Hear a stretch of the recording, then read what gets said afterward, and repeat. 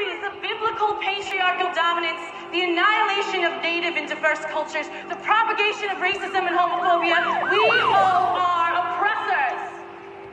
We owe them hostility, inextinguishable justice, and uncompromising destruction. Who taught you how to protest?